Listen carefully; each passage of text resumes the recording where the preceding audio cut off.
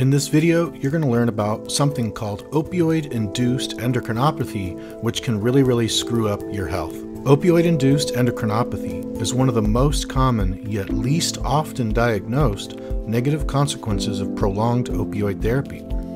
Opioids, and especially sustained action opioids, used on a daily basis for more than 30 days, have a number of negative effects on your endocrine function. Daily use of opioids can decrease levels of gonadal sex hormones, growth hormone, cortisol, and DHEAS. The primary mechanism for opioid induced sex hormone deficiency is suppression of the hypothalamic pituitary gonadal axis. Sex hormones are produced by the gonads, testes in men, ovaries in women. The principal sex hormones are testosterone in men and estradiol in women. Common symptoms of opioid induced endocrinopathy include anemia, decreased libido, decreased muscle mass, depression, erectile dysfunction, fatigue, hot flashes, menstrual irregularities, osteoporosis, sweating, vasomotor instability, and weight gain. Any opioid drug can cause opioid induced endocrinopathy. However, the sustained action opioids, and especially methadone, are much more likely to cause significant endocrinopathy than the short acting opioids. According to doctors that are specialists in opioid induced endocrinopathy, this disorder should be considered in any patient receiving daily opioid treatment in an amount equivalent to 100 milligrams of morphine or more. In addition, Patients should be asked routinely about symptoms suggestive of sex hormone deficiency before treatment and at regularly scheduled follow up medical visits. If you've been identifying with some of the symptoms associated with opioid induced endocrinopathy, you may have a mild, moderate, or even severe case of this disorder. Fortunately, there is hope. Researchers have found ways to reverse opioid induced endocrinopathy.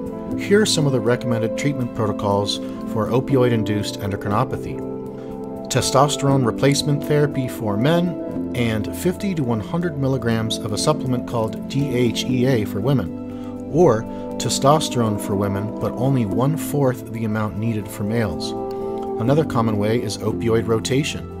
Patients who gained weight when receiving long term treatment with morphine or methadone subsequently lost substantial weight when rotated to oxycodone or buprenorphine. If you're experiencing any of the symptoms of opioid induced endocrinopathy, or if you're on over 100 milligrams of morphine or the equivalent, and especially if you're on methadone, you might want to go to the doctor for a checkup. Since most regular doctors are clueless about opioid induced endocrinopathy, you might want to go to an endocrinologist. One of my patients at the methadone clinic I was a counselor at had been on 140 milligrams of methadone for six years. He suffered from massive weight gain, low libido, erectile dysfunction, fatigue, depression, loss of muscle mass, and many other symptoms associated with opioid induced endocrinopathy. After years of enduring these awful symptoms, he told his doctor and as a result was prescribed testosterone. He stated that the testosterone injections took away nearly all of his symptoms, and as a result, he was much happier and healthier while taking 140 milligrams of daily methadone.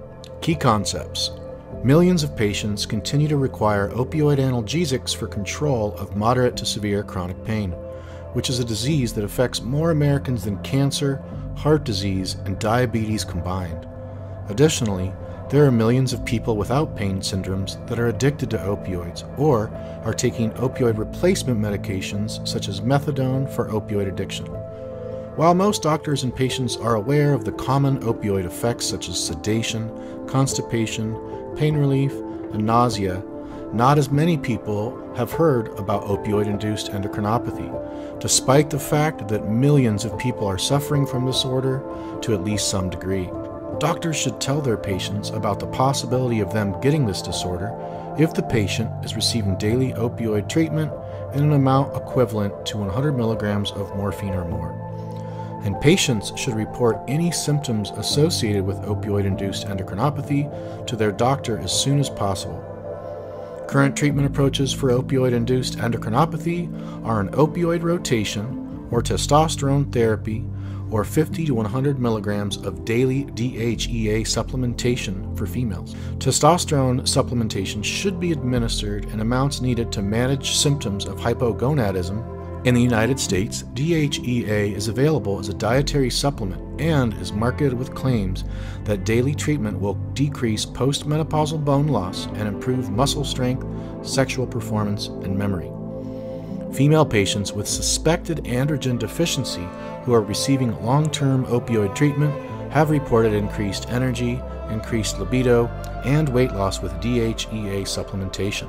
Conclusion Low libido and sexual dysfunction can cause significant problems in intimate relationships.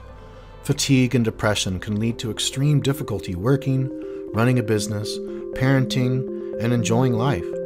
Undiagnosed and untreated opioid induced endocrinopathy, due to unintentional yet harmful ignorance, is causing so much needless suffering. Please help me spread awareness of opioid induced endocrinopathy by sharing this video with anyone you think could benefit from it. Thanks.